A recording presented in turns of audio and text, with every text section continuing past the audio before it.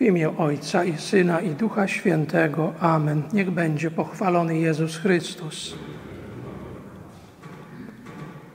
Święty Atanazy, biskup, pisał w liście do Epikteta.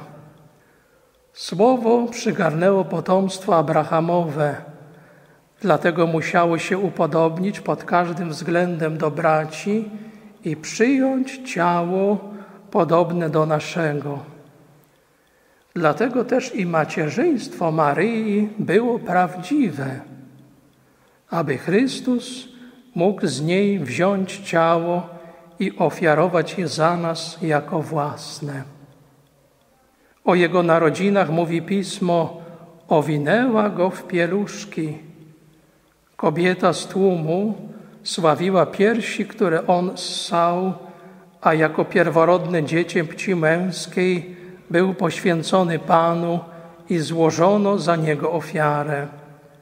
Te narodziny Archanioł Gabriel zwiastuje przezornie i roztropnie. Nie mówi dziecię, które się pocznie w Tobie, aby nie sądzono, że powstało w niej obce ciało, ale mówi, które się narodzi z Ciebie, aby uwierzono, że to dzieciem prawdziwie z niej się poczęło i narodziło. Tak więc Słowo w pełni przyjęło naszą ludzką naturę i złożyło ją w ofierze, a nam dało udział w swej boskiej naturze. Stwierdza tę prawdę apostoł, gdy mówi: Trzeba, aby to, co zniszczalne, przyodziało się w to, co niezniszczalne, a to, co śmiertelne, aby się odziało w nieśmiertelność. To wszystko nie jest zmyślone, jak sądzili niektórzy, żadną miarą. Zbawiciel istotnie stał się człowiekiem i z tego też faktu płynie zbawienie całego człowieka. Nasze zbawienie nie jest bynajmniej pozorne, ani też nie ogranicza się ono tylko do samego ciała, lecz jest naprawdę zbawieniem całego człowieka z ciałem i duszą. Owo zbawienie dokonało się w Słowie wcielonym. To, co się narodziło z Maryi, jak świadczy Pismo Święte, było prawdziwym człowiekiem. Prawdziwe również było ciało Jezusa, ponieważ było takie samo jak nasze. Maryja bowiem jest naszą siostrą, gdyż wszyscy jesteśmy dziećmi Adama. O jakże pragnąłbym stanąć dzisiaj w rzędzie wielkich piewców macierzyństwa Maryi. Jakże pragnąłbym, aby Matka Boża wysłuchała pokornego wezwania Dignare me laudare te, Virgo Sacrata.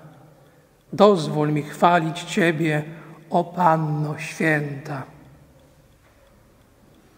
Mater Dei, Dei Genitrix, Theotokos, Matka Boża, Matka Boska, Święta Boża Rodzicielka, Boga Rodzica, Bogu Rodzica.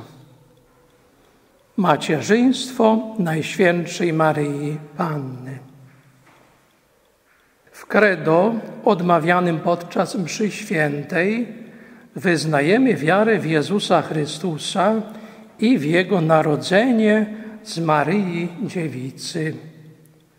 Et incarnatus est de Spiritu Sancto ex Maria Virgine et homo factus est i za sprawą Ducha Świętego przyjął ciało z Maryi Dziewicy i stał się człowiekiem. Dla uczczenia tej wielkiej tajemnicy wszyscy wtedy pokornie przyklękamy. A w składzie apostolskim mówimy qui conceptus est de Spiritu Sancto natus ex Maria Virgine który się począł z Ducha Świętego, narodził się z Maryi Panny. Podczas mszy świętej w prefacji o Najświętszej Marii Pannie kapłan śpiewa Que et unigenitum tum sancti spiritus obumbratione concepit et virginitatis gloria permanente lumen eternum munde effudit Jezum Christum Dominum nostrum. Ona to poczęła jednorodzonego Syna Twojego za sprawą Ducha Świętego i zachowując chwałę dziewictwa, wydała światu światłość przedwieczną i Jezusa Chrystusa, Pana naszego. I pobożność ludu chrześcijańskiego poświadcza wiarę w Boże macierzyństwo Maryi. Na papirusie z trzeciego wieku istnieje dowód wiary w Boże macierzyństwo i w stałe dziewictwo Maryi w postaci modlitwy pod Twoją obronę. Tę starożytną antyfonę powtarzamy po dziś dzień. Subtum presidium confugimus sancta Dei genitrix. Nostras deprecationes ne despicias in necessitatibus nostris, sed a periculis cunctis libera nos semper, Virgo gloriosa et benedicta. Pod Twoją obronę uciekamy się, święta Boża Rodzicielko. Naszymi prośbami racz nie gardzić w potrzebach naszych, ale od wszelakich złych przygód racz nas zawsze wybawiać. Panno chwalebna i błogosławiona. Dei Genitrix, Matka Boga, Boża Rodzicielka. Odmawiamy codziennie po wielekroć pozdrowienie anielskie. Zdrowaś Maryjo. I w tej modlitwie wyznajemy Boże macierzyństwo Maryi. W drugiej części bowiem mówimy Sancta Maria Mater Dei, ora pro nobis peccatoribus. Święta Maryjo, Matko Boża, módl się za nami grzesznymi. Mater Dei, Matko Boga, Matko Boża. W litanii lorytańskiej odmawiamy codziennie Sancta Dei Genitrix, ora pro nobis. Święta Boża Rodzicielko, módl się za nami. Dei Genitrix, Boża Rodzicielka. I Polska, nasza ojczyzna, ma piękne karty maryjne, wyrażające wiarę w Boże macierzyństwo Maryi, Bogu Rodzica. To najstarsza polska pieśń religijna i najstarszy zachowany polski tekst poetycki wraz z melodią. Tak śpiewamy Bogu Rodzica. Obchodzimy dzisiaj uroczystość macierzyństwa Najświętszej Maryi Panny. Święto dzisiejsze ustanowił Pius XI w 1931 roku z okazji 1500-lecia ogłoszenia tego dogmatu na Soborze Efeskim. Przypomnijmy w dzisiejszą uroczystość cztery dogmaty maryjne. Niepokalane poczęcie, Boże macierzyństwo, wieczyste dziewictwo, w niebo wzięcie. Niepokalane poczęcie Najświętszej Maryi Panny, Najświętsza Dziewica Maryja w pierwszej chwili swego poczęcia za szczególniejszą łaską i przywilejem Boga Wszechmogącego przez wzgląd na przyszłe zasługi Jezusa Chrystusa, Zbawiciela rodzaju ludzkiego, zachowana była wolną od wszelkiej zmazy pierworodnej winy. Boże macierzyństwo, Maryja jest prawdziwie matką Syna Bożego, który jest prawdziwym Bogiem i prawdziwym człowiekiem. Wieczyste dziewictwo dziewicą poczęła, dziewicą porodziła, dziewicą pozostała. W niebowzięcie Najświętszej Maryi Panny, niepokalana Boga Rodzica, zawsze dziewica Maryja, po zakończeniu biegu życia ziemskiego, została z ciałem i duszą wzięta do niebieskiej chwały. Drodzy wierni, dogmat o Bożym macierzyństwie Najświętszej Marii Panny został ogłoszony na Soborze Efeskim w 431 roku. Pismo Święte wyraźnie mówi nam, że Najświętsza Panna jest prawdziwą Matką Jezusa oraz że Jezus jest prawdziwym Bogiem, a zatem ona jest prawdziwie Matką Boga. Najświętsza Panna jest określana jako prawdziwa Matka Boga nie w tym znaczeniu, że urodziła bóstwo, lecz że urodziła ona boską osobę, osobę Słowa, drugą osobę Trójcy Świętej wedle ludzkiej natury. Prawda o boskim macierzyństwie Najświętszej Marii Panny łączy się nierozerwalnie z prawdą o Jezusie Chrystusie, który jest drugą osobą Trójcy Świętej, jest prawdziwym Bogiem i prawdziwym człowiekiem, łącząc w sobie w jednej osobie Syna Bożego dwie natury boską i ludzką w tajemnicy zjednoczenia, czyli unii hipostatycznej. Po Soborze Efeskim papież Sykstus III poświęcił Matce Bożej bazylikę wzniesioną w Rzymie na wzgórzu Eskwilińskim.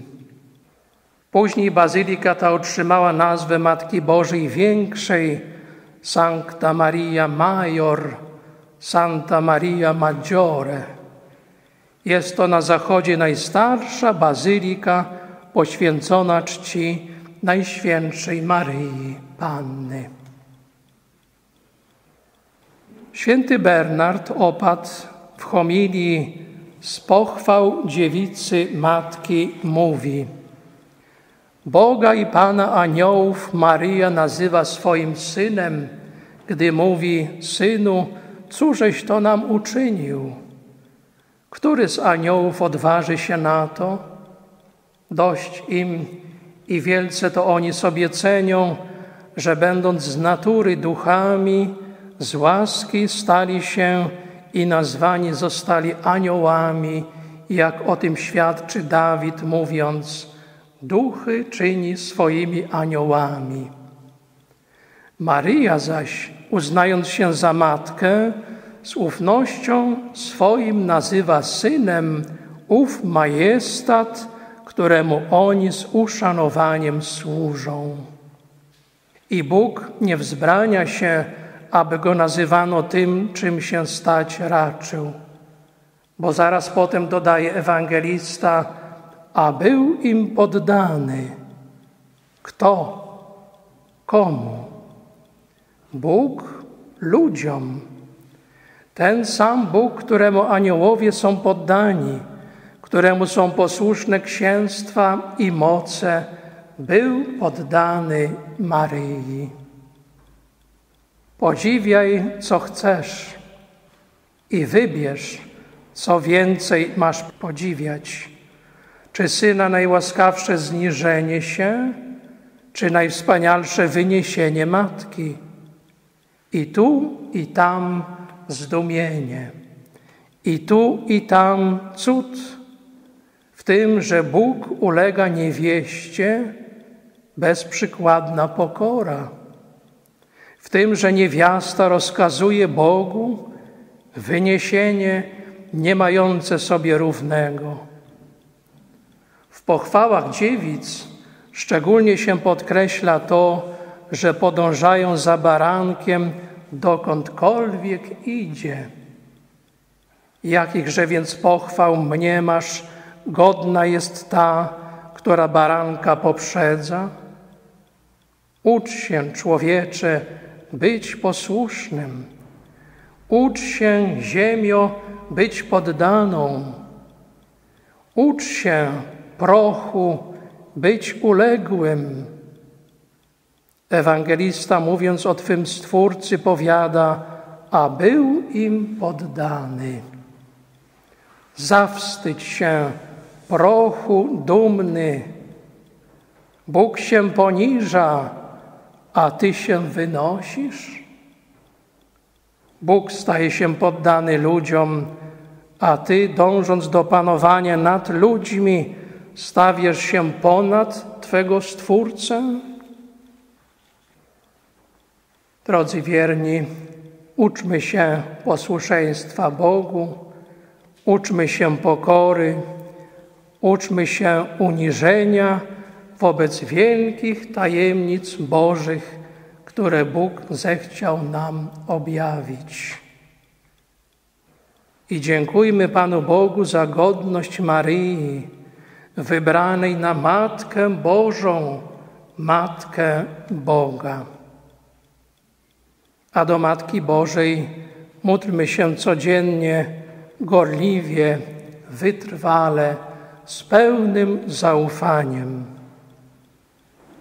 Tak jak troszczyła się jako matka o Syna Bożego w Jego ziemskim życiu, tak przyjdzie i nam z pomocą jako matka w potrzebach naszych. Święty Cyryl Aleksandryjski, biskup, wygłosił na Soborze Efeskim płomienną homilię ku czci Matki Bożej, Bogu Rodzicy, świętej Bożej Rodzicielki. Mówił, patrzę na zgromadzenie czcigodnych biskupów, którzy stanęli tutaj z radością na wezwanie świętej Bogu Rodzicy, zawsze dziewicy Maryi. A chociaż uprzednio doznawałem wielkiego smutku, to jednak widok zgromadzonych tu świętych ojców napełnił mnie radością. Tak wypełniła się wśród nas radosna zapowiedź psalmisty Dawida. Oto jak dobrze i miło, gdy bracia mieszkają razem. Bądź przeto uwielbiona, święta i tajemna Trójco, która zgromadziłaś nas w tym kościele Maryi, Bogu Rodzicy. Bądź pozdrowiona, Bogu Rodzico Maryjo, czcigodny klejnocie świata, niegasnąca pochodnio, korono dziewic, berło prawdziwej wiary, świątynio niezniszczalna, mieszkanie niezmierzonego, dziewico i matko, dzięki której w Ewangelii błogosławionym nazywany jest ten, który przychodzi w imię Pańskie. Bądź pozdrowiona, któraś w dziewiczym swym łonie zamknęła nieskończonego. Dzięki Tobie, Trójca Święta, doznaje czci i chwały po całej ziemi. Dzięki Tobie na całym świecie przesławny krzyż otaczany jest chwałą i uwielbieniem. Dzięki Tobie radują się niebiosa, weselą się aniołowie i archaniołowie, pierzchają demony. Dzięki Tobie kusiciel został strącony z nieba. Dzięki Tobie upadła ludzkość, wzniosła się ku niebu. Dzięki Tobie całe stworzenie pogrążone w nierozumnym bałwochwalstwie doszło do poznania prawdy. Dzięki Tobie wierzący dostępują chrztu, dzięki Tobie otrzymują olejek wesela. Dzięki Tobie na całym świecie powstają kościoły. Dzięki Tobie narody zostały wezwane do nawrócenia. Cóż więcej powiem? Oto dzięki Tobie światłość jednorodzonego Syna Bożego zajaśniała tym, którzy pozostawali w ciemności i cieniu śmierci. Dzięki Tobie prorocy zapowiadali, dzięki Tobie apostołowie głosili zbawienie narodom. Dzięki Tobie umarli zmartwychwstają. Dzięki Tobie panują królowie w imię Trójcy Świętej.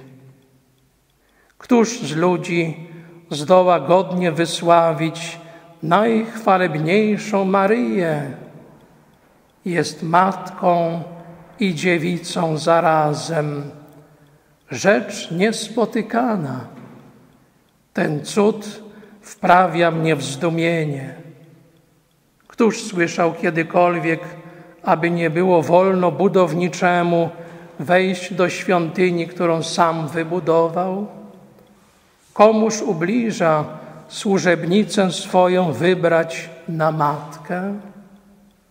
Oto dlaczego cały świat promienieje radością, obyśmy i my wielbili i czcili jedność, wielbili i wysławiali nierozdzielną Trójcę, wychwalając Maryję, zawsze dziewicę, świątynię Bożą oraz jej Syna i nieskalanego oblubieńca, któremu chwała niech będzie na wieki wieków.